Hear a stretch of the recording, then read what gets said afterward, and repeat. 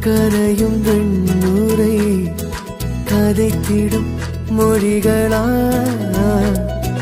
விழிகளின் வளைவில் வானவில் நிறங்களின்